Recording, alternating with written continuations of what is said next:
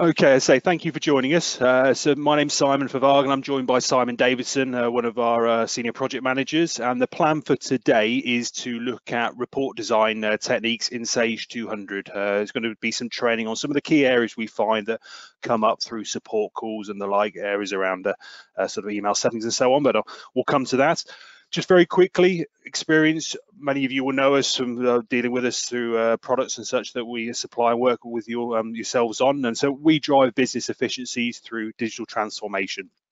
And the way we achieve that is through our four key pillars. If you could go to the next slide, Simon, please.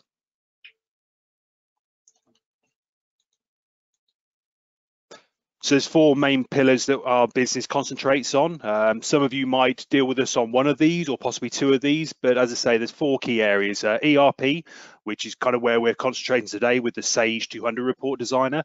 CRM, there's a CRM module within Sage 200. Some of you may or may not use that. Uh, cloud and managed IT. And that's what we see as uh, digital transformation. It's combining these sort of pillars together, maybe two, maybe three, maybe all of those to give you a, a total solution that uh, transforms your business, allows you to work productively, effectively, and so on. And so if we hand over to the next slide, um, Simon's going to cover these the key areas on the training today. As I say, it's all about the Sage and the report designer, uh, and I will hand over to Simon. One thing I'll mention, if we can, any questions, if you could pop those up in the chat box, and we'll get to those at the end if that's okay. So just fire up any questions that spring to mind throughout the session, and we'll cover all of those at the end of the session, if that's all right. And without further ado, I'll hand over to Simon. Thank you very much. Um, can you everyone hear me okay? Can you hear me, Simon? I can hear you fine, yeah. Perfectly, fantastic. I wasn't too sure there. I thought I was by myself. That's okay. Right, so thanks for everyone spending a bit of time out uh, from your day to uh, spend some time with us. So we're going to cover three main areas in Sage 200 uh, today. So we're going to look at configuring email settings, debtor letters, and report field formatting. So this is around report designer techniques. Now, we offer additional training, obviously, in Report Designer, so that can take place normally over one or two days. So what we're presenting today is a very, very, very cut down uh, version. Uh, we're just we're just focusing on these three key areas because these things typically come up in support calls and um, how do I do type uh, questions. So report designer techniques, yeah, how do I email documents? They could be letters, they could be invoices, credit notes, and so forth. So emailing is very much more uh, a topic. Um, it's more relevant today, given the environment that we're unfortunately uh, facing at the moment. So going down to the post office is a bit more logistically challenging these days. So emailing is you know the best way to go. So how do I email documents? We're going to show you the, pro the processes involved. Uh, we'll start off with the, the basics and we'll get you to a stage that you're going to feel comfortable going into your system and setting up the email settings. We'll also, the second part is going to go and cover off debtor letters. We're actually going to run through how to produce debtor letters. And they're basically around chasing up debt. So it's very much um, a relevant topic, again, for the current environment, because obviously people are going to take a little bit longer to pay, understandably. And thirdly, as I said before, we're going to look at some field formatting. So how do I edit my debtor letters? How do I change some content uh, just to tweak things around a little bit? So let's um, crack on. Now, first of all, before we actually get into what I call under the bonnet, we're going to need some information from your IT to work out uh, what are your email settings because, you know, do you use Outlook? Uh, do you send uh, emails or want to send emails straight out, um, bypassing Outlook itself.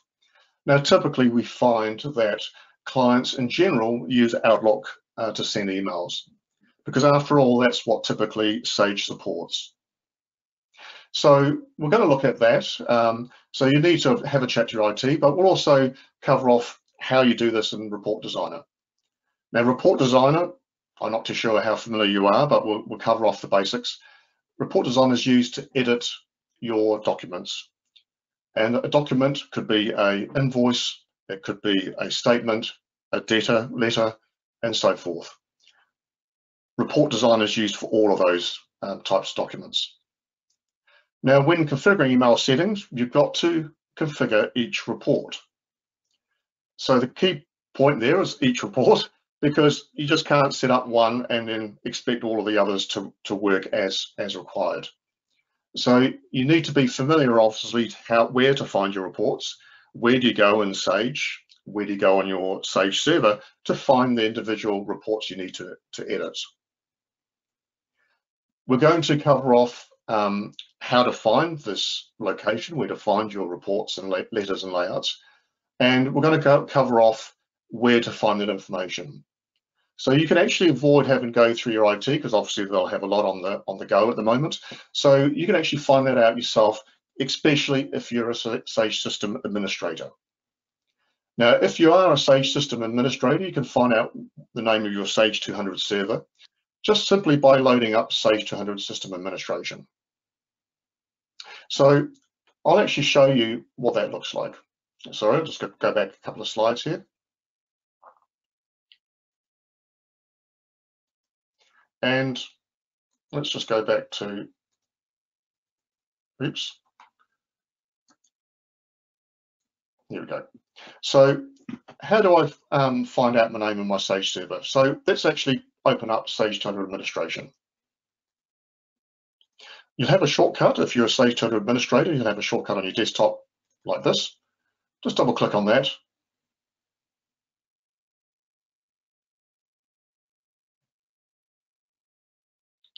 That'll just take a few moments to start. And we're going to find the name of our server. So click on the company's uh, option on the left-hand side and have a look at the server name. The server name will be the first part just before the uh, forwards um, backslash. And in my case, it's a demo system. It's got a very odd sort of name, but that's my name, my Sage server. So starting with Win and it finishes with CN. So that's the name of the Sage server there. Now, if you do want to double click on this, it will open up the properties for your company, Sage company, and you can actually copy the name of your server from here. Okay, don't change anything on the screen because it may stop your Sage from working, but just copy this first part to clipboard. So right click and copy. And it's useful just to fire up a Notepad. Uh, every uh, Windows type system will actually have a Notepad uh, installed and just paste the name of your server on into the Notepad. We're going to use that later on to, uh, uh, to browse for the files. Okay, let's close this uh, properties window down. So, so far we've actually achieved one thing. We've actually found out what name of our Sage server is. So let's just flick back to our PowerPoint so we know exactly what we're up to. So we've actually covered off this first part here. What's the Sage server name? Now, before we start looking at um, techniques or how to edit a report, I really need to cover off one important part is where you find that information. Where do you find your reports? Where do you find your letters? And where do you find your layouts? Each site can be set up a little bit differently, but it Sage follows a set routine in terms of how it actually searches for your documents. Now, first of all, the general structure is it will start off looking for the name of the document. It could be an invoice statement, uh, a statement, uh, a letter. It will start off what we call the company location. And if it can't find the name of the document that it's trying to print or email, it will move on to the custom location. Now, failing that, it will actually move then to the default location and try and find the document that way. So if you ever find or see a message on the screen along the lines of Sage can't find the document, then the chances are that the document is not actually in one of those three locations. So I'm going to cover off how you browse to that, and this is where the name of the server comes into play. Because in Windows Explorer, we'll actually need to search for this, the Sage server, and we're going to browse to the Sage location and find uh, reports and layouts and letters. Now, within those locations, Sage looks for things in certain folders. And if it's a report, it will search for the report within subfolders. And that's what I mean by that statement there. It's broken down by module. So if it's trying to find a nominal ledger report, it will go to the nominal, nominal ledger folder within the report's location and try and find the report that from, from there. Now, just a key point, and this is a key design um, consideration, is that if the name of the report is the same as the standard Sage report or layout, Sage will run your customized version instead of the default. So this technique is what we follow or use if we want to customize, for example, a VAT report, a reconciliation report, or maybe a data statement uh, report, and we want it to run in place of the standard default report. Okay, so the key thing is keep the report name the same. If you change it by one character, you know, add a dash or a extra S or a, a, another word, then that's deemed to be different and Sage will basically not find it. And it will run the standard report. And what I want to mention now is not a lot of sites have the standalone version of Report Designer installed. Uh, typically, when I set up a Sage site, I like to do that. I like to install what I refer to as a standalone version of Report Designer because that allows you to double click on a, a report or a layout within the Windows Explorer which I think is now called File Explorer under Windows. And you can double click on it and it will launch up Report Designer from your, your browsing session in, in Windows Explorer. Now, if you don't have the standalone version of Report Designer installed, then don't, don't fret. Contact support, ask them to give you a hand. And basically to report to install Report Designer standalone is, is, a, is a five minute job. So I'm going to show you how to do that um, in terms of running the standalone version, but I'm also going to show you how to access Report Designer through Sage in what I call the standard way. And we're also going to cover off editing a letters email settings, because after all, that's one of the key uh, objectives of today. And yeah, let's crack on.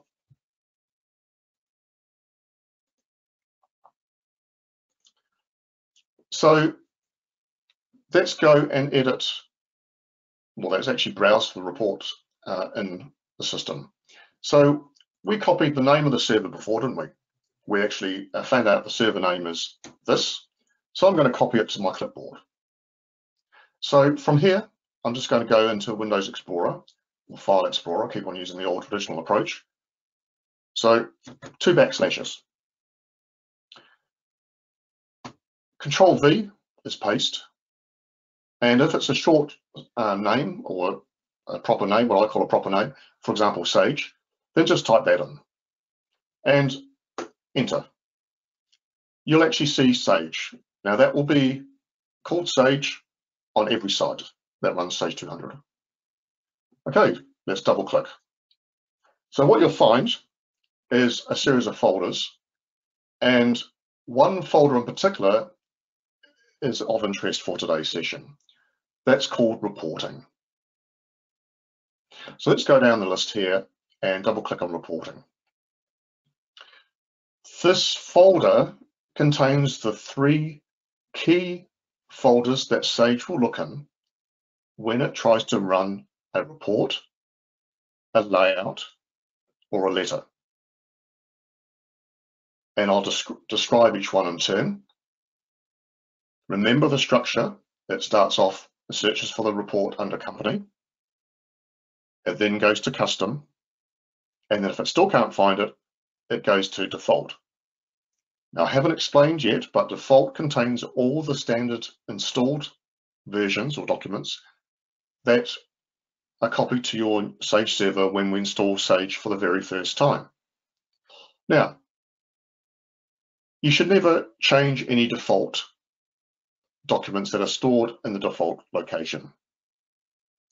Now, don't get me wrong, you can still use a default report as a base starting document, and that is always my advice when starting off, is use a standard report that's been installed and edit that to customize it. But don't save it back down on top of the standard default report. Because if you ever need to go back to standard one, one, you can't because you've overwritten it. And secondly, yeah, always leave the default reports as is, general rule. So, as I said before, company, custom, and default. Let's look at co company. Now, for those sites that have all their reports or layouts or letters stored under the company folder, then this will be relevant for yourself. Now, you're going to find out by browsing to your reporting location, as we are doing here, you're going to find out where the documents are stored on your site. So if you are keeping up with my training, and I'll certainly encourage you if you can, to load up Sage 200 on your machine. And I'll just give you a few moments to do that if you, if you wish. And you may already know while you're loading up Sage where or what the name of your Sage server is. In that case, you've got a head start on the, on the rest of us. Okay, pop into Windows Explorer for me, so if you, if you are following, and browse for your reporting location. So put in the name of the, your uh, file, your uh, Sage server. So just like that, enter, double click, and then down to reporting. So hopefully you're up with Sage on that, and double click on company.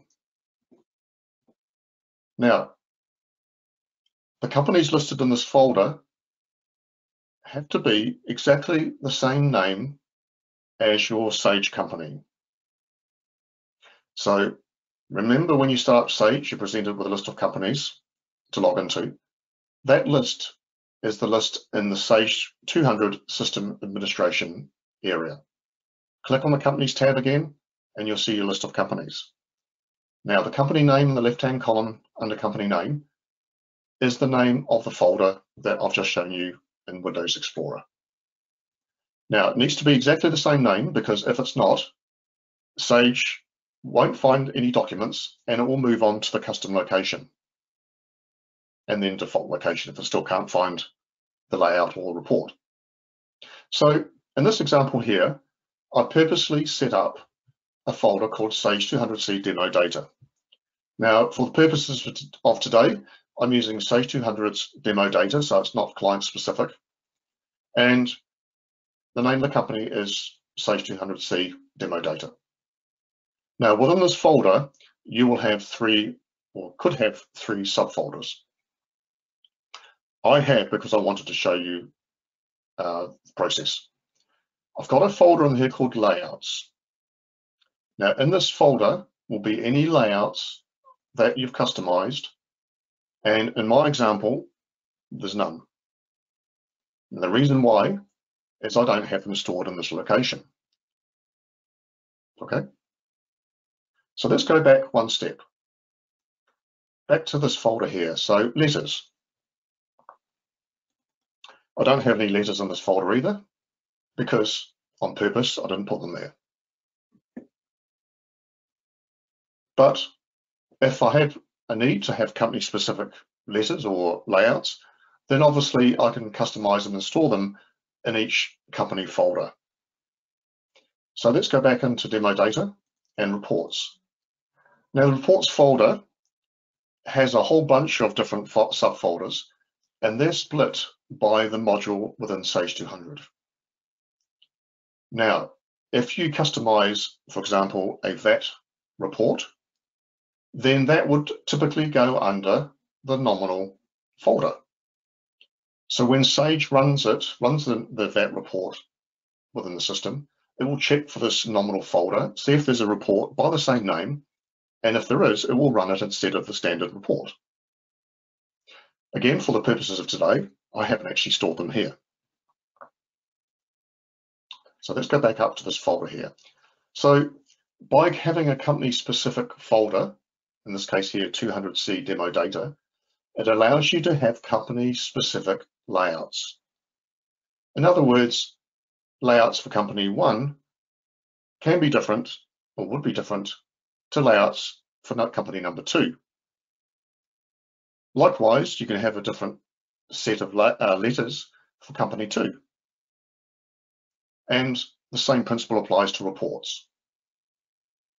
So having your documents or customized documents, and by document I mean a layout, a letter or a report, under the company folder, just gives you that flexibility to run very bespoke reports, layouts or letters for each company. Great if you've got a test company situation or you've got very distinct companies with very different branding requirements, in which case I would tend to recommend to clients you have your layouts under a company folder. But just to be awkward and difficult today, I haven't followed that approach because I don't have any specific branding requirements. Let's go back to the reporting folder just by clicking on reporting at the top of the page. So ignore criteria. I'm not interested in that folder right now. I'm going to click on custom. So custom, I've got a whole bunch of different folders there, but the one I want to point out for today's exercise is the folder, well, three folders actually, called reports, letters, and layouts. These three folders can store your custom layouts, letters, and reports. Now, anything stored in those three locations will print regardless of the company you are logged into. So the key here is use the custom locations, layouts, letters, and reports only if you are happy to have the same report, layout, or letters to run across any of the companies that you are using. Now, if you've got a test company or a, or training company, then just be aware if using the custom location, you could be potentially printing out a test transaction, a test layout or a test invoice based on demo data or test data, and it will look exactly like your live documentation. It's sometimes a little bit dangerous. Okay, so just, just be conscious about that.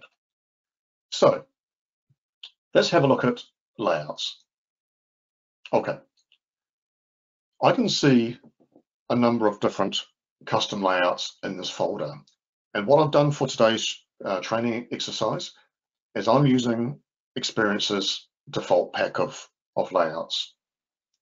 These ones were customized with certain fields, layouts and, and uh, branding uh, logos. And it's just to sort of make it make the demo a little bit more, um, I guess, polished. So that's the layouts folder. Let's move back to custom. Letters. Letters are debtor letters or customer letters. They are credit control letters that you can generate from Sage 200. And these letters uh, will basically follow a set structure and they will be produced with certain text in there saying, please pay. Um, and the next letter, the second one might be a little bit stronger. The third one is a little bit stronger. And the fourth one typically will be the strongest type letter. And that one will typically mention lawyers or solicitors and so forth. So these letters will be, I'll be showing you how to produce those. So it's almost like a bit of a credit control um, uh, uh, training session as well in a way. Um, but these, these letters are quite useful. So anything that is actually a Sage letter, they'll be actually stored in this location. You do not store things like invoices, statements, or any type layout within this folder. Layouts must go under the layouts folder here, okay? So reports. You remember this folder has lots and lots of uh, folders, subfolders here. POP, price book, purchase, sales, nominal. Okay, these are any customized reports that you want to run that have the same name as the Sage 200 report. That's typically what I would recommend you use these folders for. Now, some sites we've gone to, they, they ask for bespoke Sage reports that don't have a default or standard version of Sage. They're ones that we've created specifically for customers' requirements. So in that case, you, sometimes you'll see a subfolder on here with the name of the company, for example.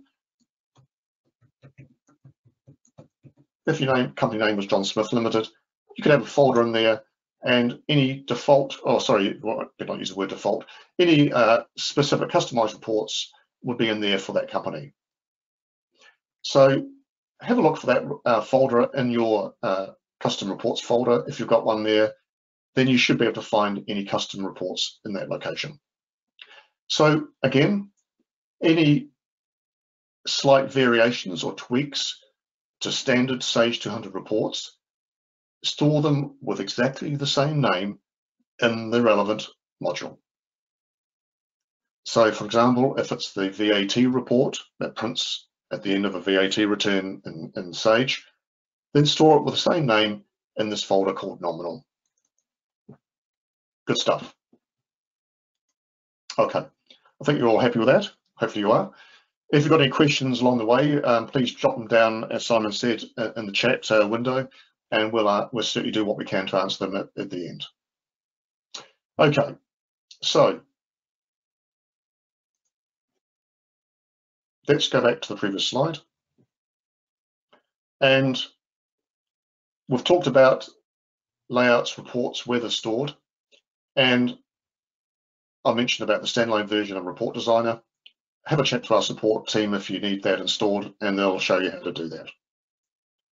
Start up Report Designer through Sage 200. So how do I do that? Okay. First of all, launch up Sage 200 and hopefully you're all seasoned Sage 200 experts. Um, basically, launch up Sage 200, you've got the little cog symbol at the top. That looks like a, a cog symbol. And pop in there, and you've got an option here called Run Sage Report Designer. Let's click on there. Right, the first thing I need to point out is that by launching up Sage Report Designer from that company that I'm logged into, means that any previews of reports or layouts or letters will be based on the company that I'm logged into. Right. So back again, cog, symbol, Sage Report Designer, done. So here is the company, the, the folder structure for reports. Company, custom, and default. Remember my Windows Explorer view? Yeah, that looks pretty similar. In fact, that's the same structure. Okay, so I can go into company and I can see my layouts folder. I can see my letters and my reports. Now I've got no customized reports in there. If I go down to custom and go to my layouts folder, let's click on the little plus symbol next to layouts and that will now list all the customized layouts that I've got stored in that folder. So that's actually the same as if I went back to my Windows location, back to Sage, back to reporting, back to custom, layouts, and there we go. Letters. There's my debtor letter one, two, three, and four. So the key thing is what we said we we're going to show you was how to configure email settings. So what I'm going to use as an example is going to be a debtor letter. Now, I'm going to pick number one debtor letter number one. Double click and it will launch up the letter within Report Designer. Let's maximize that uh, window. And on the right hand side, we've got the properties uh, window or sub-window showing different elements or attributes uh, within this report. Also, really need to show you, under view, you've got an option here called properties. So, beg your pardon, properties is what I was looking at before. Let's just click back on um, Report Explorer. That's actually what I wanted to add as well. So the Report Explorer shows you a graphical view of how your report is structured. We won't be able to go into too much detail about that uh, today because obviously that's going to uh, take up a bit too much time, but that will show you all the different um, elements or sections within the report. The top, top level is the name of the report and page one is the top level. Each page has a page header. Each page has a page footer and typically you'll have a detail section and depending on the type of report you'll have a se series of headers. Now this header is for a section and a section is just an area within the report. Each section or area has a header and it has a footer. Now you see when I'm clicking on the uh, headers and footers within the Report Explorer, you see that it's highlighting the different area within my report designer. Okay, just do that again. Okay. So let's just give you a very, very quick high level view of the Report Explorer. Now, let's go and crack into uh, the email settings. Now, you can access the email settings within a report a number of ways. You can go here, report email settings, or you can go up to the top level of the um, report and you've got an option here on the right hand side, top right, email options, and see the little three dots towards the right of that field. Click on the three dots and you see, we'll see the same screen as we saw earlier. Now, setting up the email settings. General rule is do not leave your report if you intend to email a report or a layout or a letter, do not leave it set to entire report. Why? If your report includes information that is um, that belongs or shows information from different customers, different suppliers, different accounts, then one person will receive that information. So if it's a customer statement, you would be sending out all your statements to one customer. Now, I'm sure that you don't really want to do that, and I wouldn't want to see you do it either. So do, do never, never leave that set to entire report. General rule is pick the highest group you can. So click on the little down arrow next to here, and I'll be picking group number two. Now, group number two is actually a section within the uh, within the report, and that is is actually to do with customer accounts. And group two, customer accounts, is actually um, showing information for customer account number. So this group is actually splitting the information by customer account number. In other words, it will be emailing out or generating the report split by customer account number. So therefore, it makes sense that A, I would pick this as a group, but also bear in mind that I want to pick the highest group setting I can.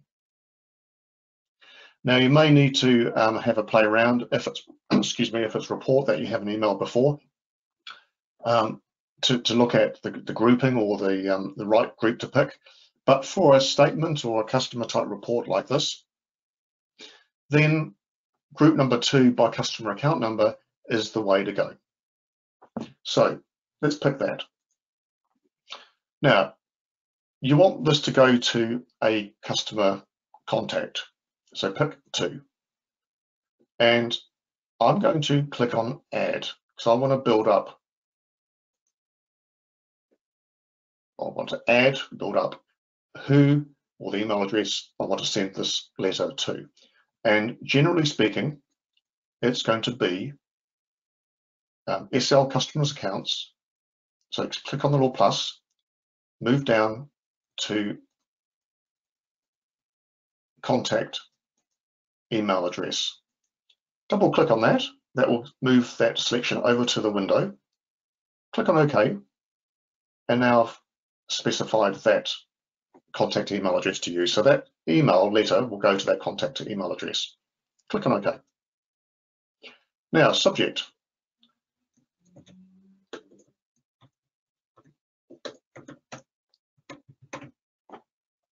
I could just type in there overdue letter. Yep, that's great, but that's just going to say overdue letter. Um, you could specify your company name. Or you can build an extra smarts into how that subject name is uh, arrived at. So I can click on subject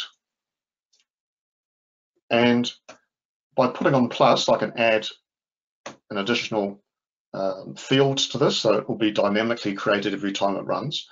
And I might want to add something else to this uh, subject line. So I could put a date in there, I could put a company name, um, I could put the name of the customer's account. Let's, let's give, give that a go. And let's go to SL customers accounts because that's where the information is stored about a customer's account. And I will pick the name field. So let's just make this window a bit bigger and keep going down. And the hardest thing with a report designer is actually knowing where the information is stored.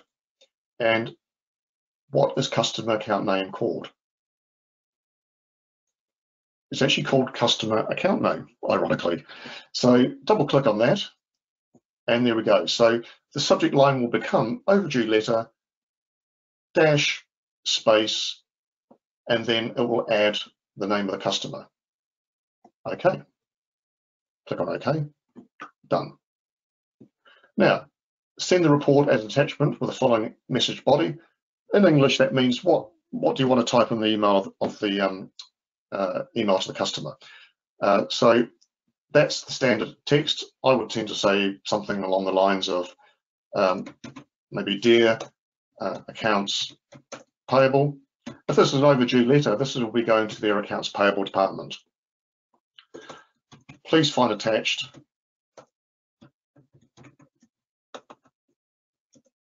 our overdue letter.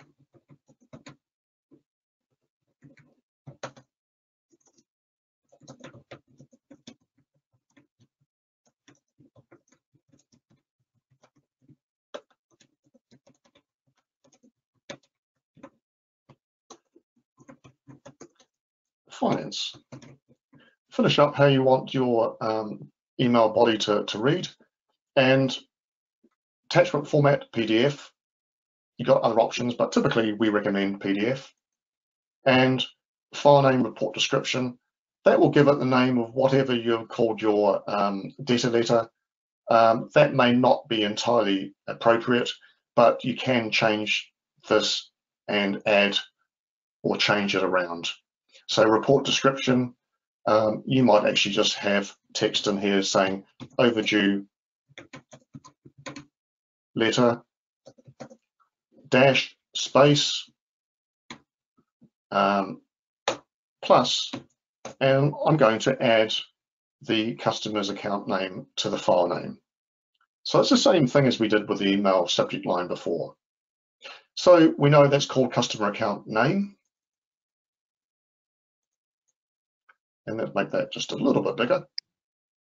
So let's add that, done. Okay. Now, this is the thing you need to check with your IT uh, just to make sure that you're using Outlook. And there's a section here called Microsoft Outlook, and typically that's a lot of what our clients use. So in this case here, I'm assuming that you're using Outlook. And I recommend to save emails to Mailbox that will give you a draft email, which you can then open up in Outlook, add any personal touches to the email, like how was your last um, trip away, Bob, and then just send it off from, from Outlook. If you send it immediately, there is obviously a chance that it may not be right. You might have forgotten to change your letter around. Um, and I think until you get this, uh, this practiced, um, it pays just to save them to the mailbox uh, to begin with. So save to mailbox, yes, and done. So that's our email settings entered. They're only entered for that one letter. Now, obviously, I've taken a bit of time to go through how to set them. Typically, it won't take you that long to do yourself. You would just simply open up all the uh, letters, for example, and do them one after the other. Okay, don't forget to save your layout down, uh, letter down. So click on the save, and that will now save the changes. Super. That's how you change your email settings.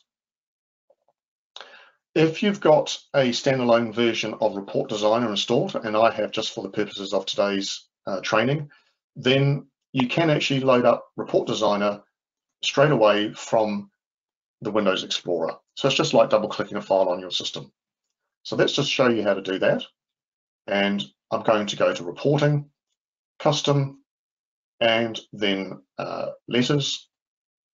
Double click on report letter, and it will launch up report designer and the letter itself.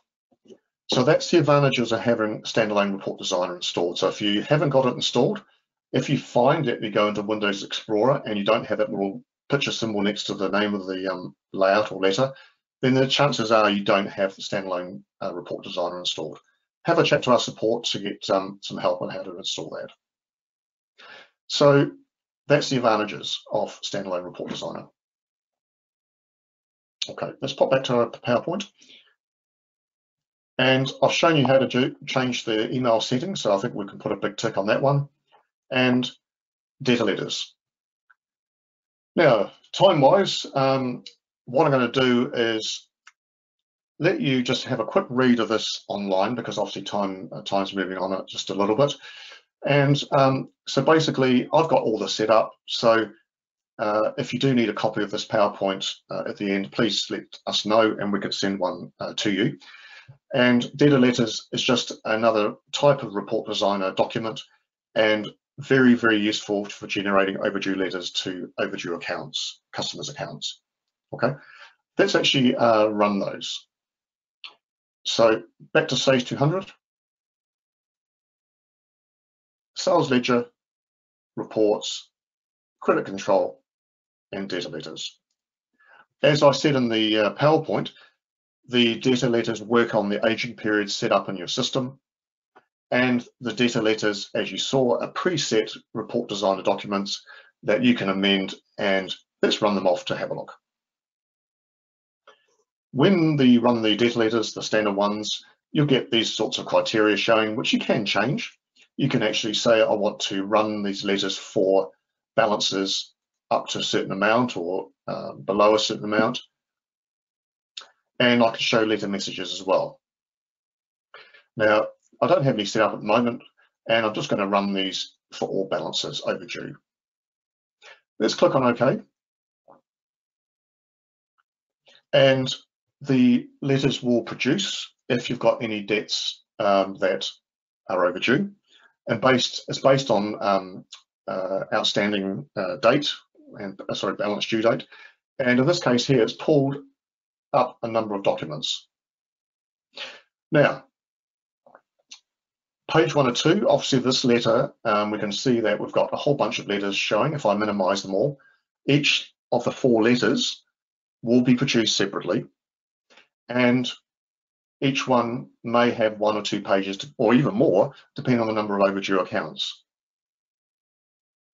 Now, let's minimize all those.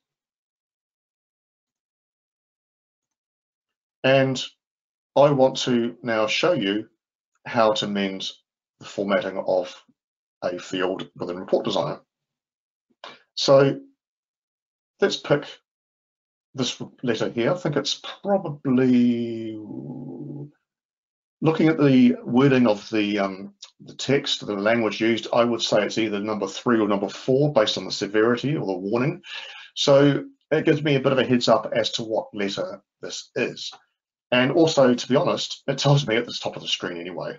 So debtor letter number four, period four. Okay, say that I want to amend the account number one euro. Okay, and got a number of choices how to do that. First of all, I can click on edit at the top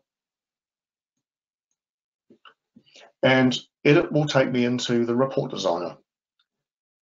Now, a key important thing to be aware of. What you are editing is not your customized layout, letter or report. It's just the one that the system has actually produced. I'll explain this by example. If I click on File Save As, it hasn't got a name, it doesn't know what the name is, okay? And yeah, you need to know, ideally you need to go into the letter uh, the proper way. But sometimes I do go in this way uh, if I if I have to.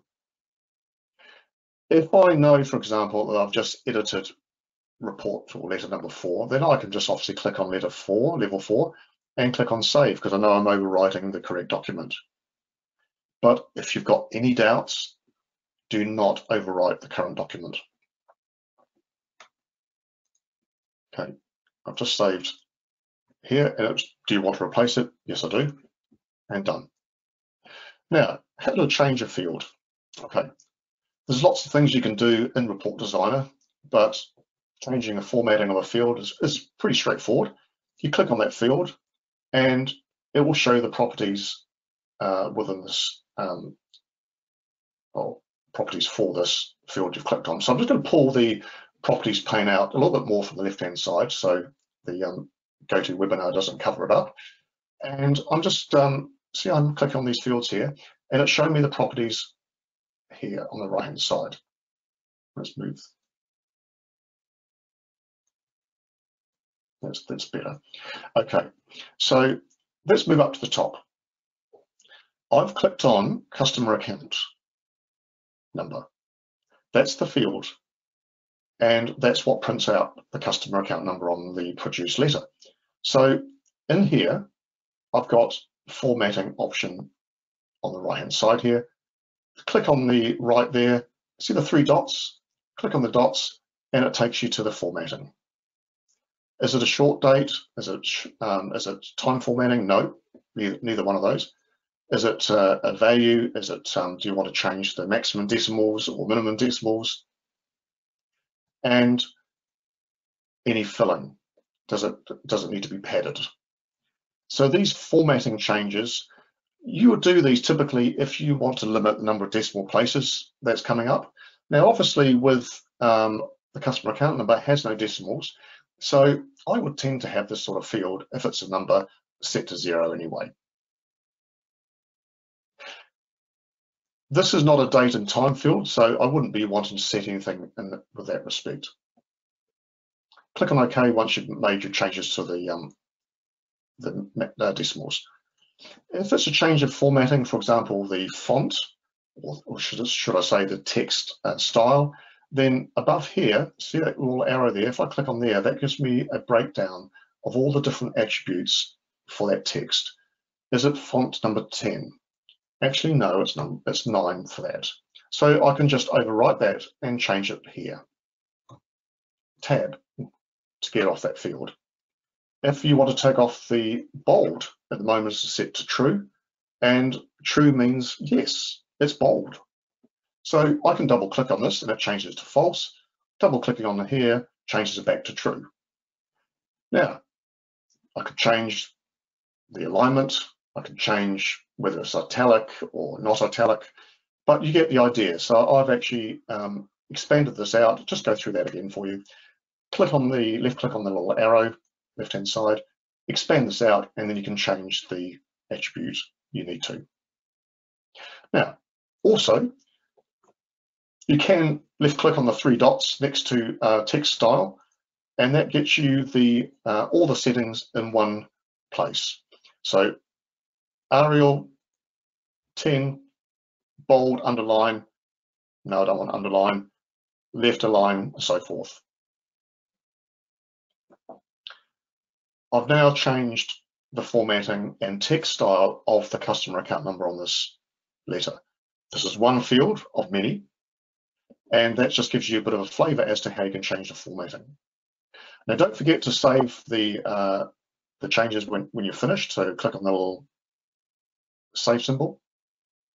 And if you need to change some of the text of the letter, then double click on the, um, see the, the little dots around the uh, letter contents? That's a text box. And if you double click on it, it allows you to highlight and change certain uh, text within that. Now, you can also change the text another way.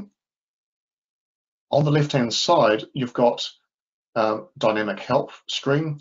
And because I've highlighted that block of text, it shows me what text is showing there, and I can actually change the contents here as well.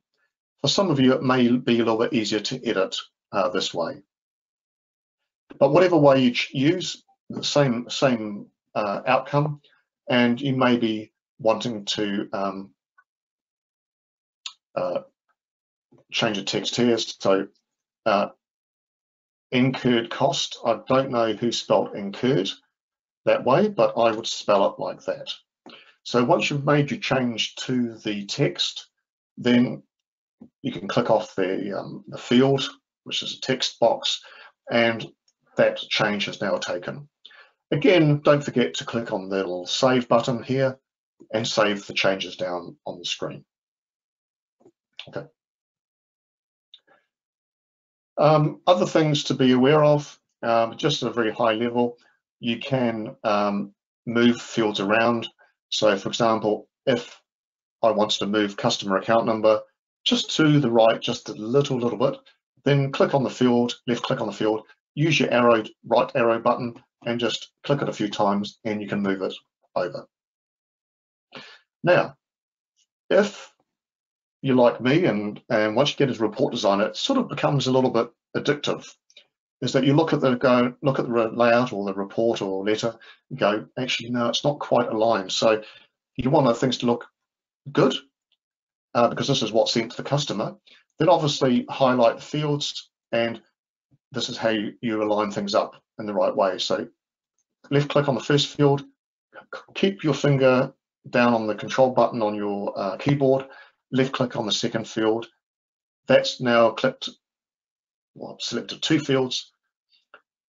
Then go up to format at the top of the page screen, alignment, and top. That means it will line the fields, make sure the top of the fields are perfectly aligned for you.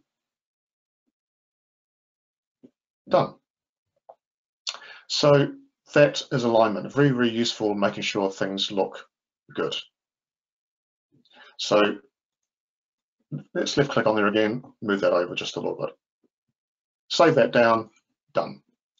So now I've now completed my changes let's close my letter down and let's run off those letters. Today was about email, uh, emailing or report design techniques, and we've changed the email settings. It'd be a little bit wrong of me not to show you the emailing uh, in, in, in, in, practice, so let's give it, a, give it a whirl. So let's generate the letters. You generate them to screen first, okay? Have a look at them, make sure they look correct, they have the right text, there's no spelling, there's no typos, that type of thing. Now, if you are happy with the contents of the letter, then you can actually click on email. Now, this is a very good error. Very good error in the respect that for training, you should never see this when running off an emailed report. As I said before, you do not want to send the entire report to one customer. So this is a very good training uh, error to encounter because I can show you how to fix that.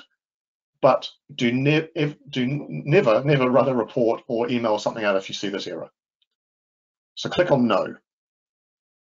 So I'm going to fix this problem this is debtor letter uh, four that has this error. So I'm going to click on um, edit, report email settings. So report email settings, entire report, pick group number two, it's split by customer account number, which is correct. So each customer is going to be sent their own individual email, which is what I would what I would want. Subject, I'm just going to type in a very brief note here because obviously time is limited. I'm just going to set this to Outlook and that's a very basic email setting entered. Plus, I should actually change this text. Click on OK, done. File, save as. That's number four, save. Okay, let's try email again. Oh, I've got a problem with number three. Again, very good training error. Um, I don't want to email the entire report, big no-no. So click on no, and I'm just going to go and click on edit. Now, by the way, the letter number is number three. So edit, report email settings, group number two, and this group splitting SL customer account, so customer account, customer account number, that means every uh, customer is going to be emailed separately, which is what I want, and you typically go for the highest group number anyway, so that's fine. Subject, let's say I've actually entered my correct subject uh, in here, and again, you could customize it and, and produce this dynamically. Just for speed, I'm just typing that, that information in. Outlook, okay. Let's save that down. So file save as, and this is debtor letter number three, and select save and replace yes. Let's try emailing again. Oh, got a problem again. I don't want to email the whole thing, so click on no. And I'm going to go back into edit. Now, by the way, it's letter number two. So by the end of this training session, you'll definitely be familiar with how to uh, create your um, or enter your email settings. And if you're ever unsure what group to pick, always go for the highest group and just make sure that the split customer account number means that no one's going to receive any wrong information.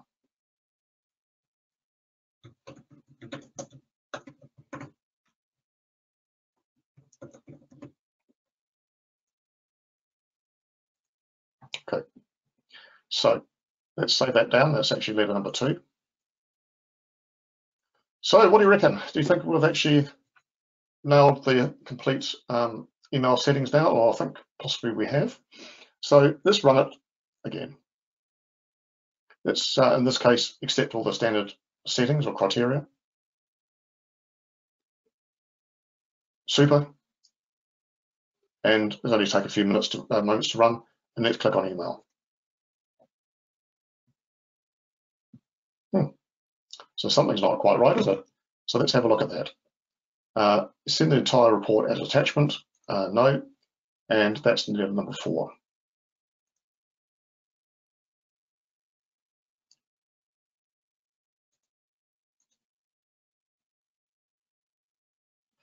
Now, this is a good exercise. where I've actually changed the settings.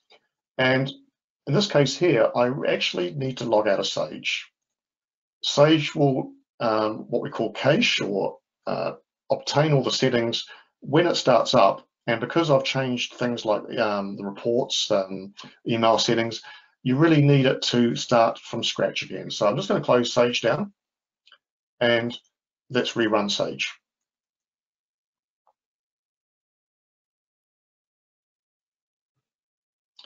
And I'm going to close down Report Designer as well. So let's go back to our sales ledger letters.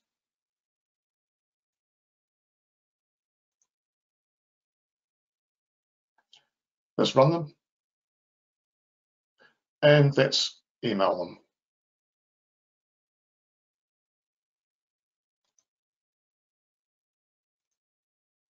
And I did get that error message before, and that's a no-no. I should never click on entire report, but in this case here, I'm just going to show you the emailing.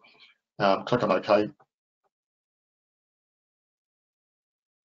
And basically, let's have a look at Outlook. So what the system will do is generate a draft email. Now they will be stored in your drafts folder. So let's just have a look at Outlook for a moment. And typically you would go into your drafts folder and obtain your email document from there. So what I'm going to do is show you, let's pick up a, um, let's pick up letter number one. And I'm just going to email this one individually. So click on email. And that's basically taken the email settings from your contact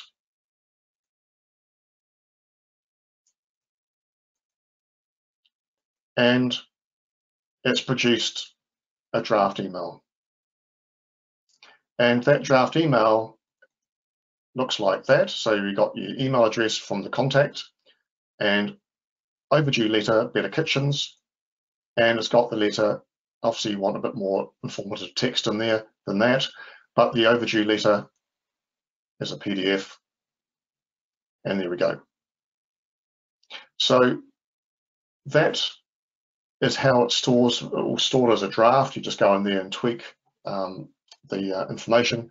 Now, what I'd recommend you do is make sure you don't have the standard default um, report designer text in there. And let's actually have a look at that um, uh, letter. Browsing back to my Sage folder, so back to server name, Sage, reporting, and custom, letter, and letter number one.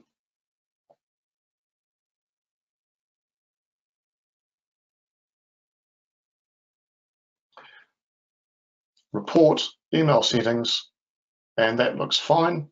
And the text, dear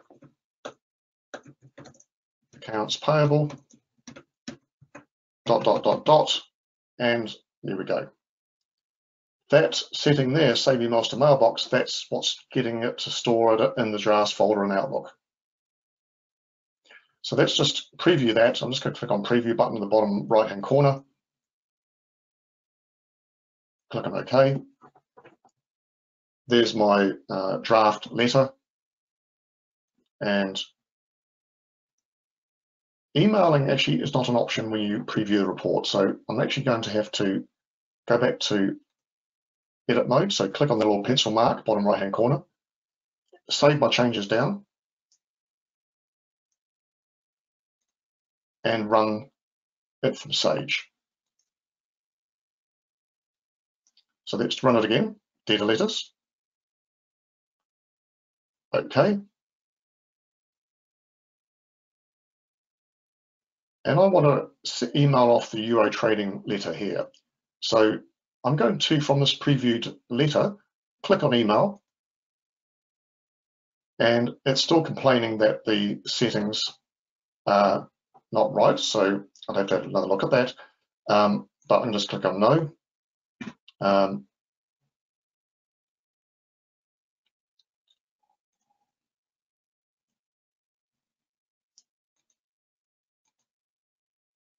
period four, Simon. You need to go to yeah. the letter period one. Yeah, this is actually four, isn't it? So let's yeah. go back to the four mark. Um, so I'm just going to go back to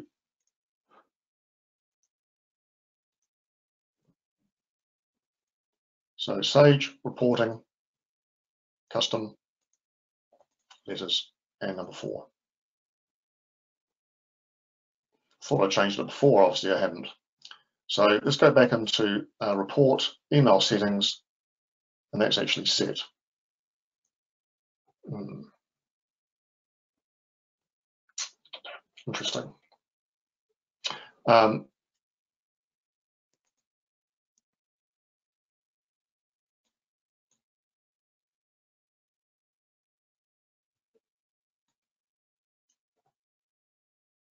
So it shouldn't actually ask you, uh, shouldn't come up with that warning because I actually have changed the individual report.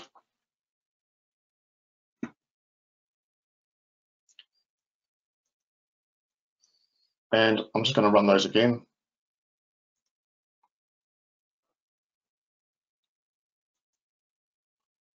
And pick number four and email this letter. Still wants to say it's not configured. Well, this actually is configured. Um,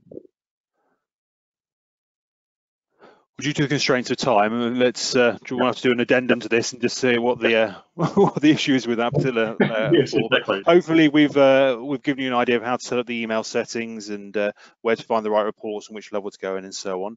Uh, if anybody's got any questions, please feel free to pop those up now, and we'll certainly try and answer those. And I popped up on the chat window, but I forgot to mention up the start. We can send a record. We will send a recording uh, of this session out to you guys, uh, so you can sort of recover uh, what we've gone through today, and can also make the PowerPoint available as well.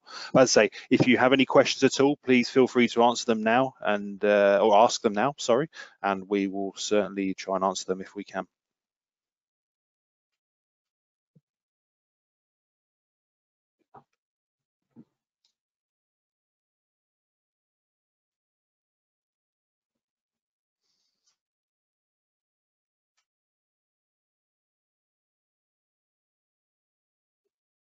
It looks like uh, possibly no questions coming through and um, slightly conscious that we've overrun slightly. So uh, any questions do come up, I say feel free to drop me an email, myself or Simon an email, and we'll uh, certainly answer those there, there and then. But uh, yeah, thank you all for attending today. Really appreciate you all taking the time.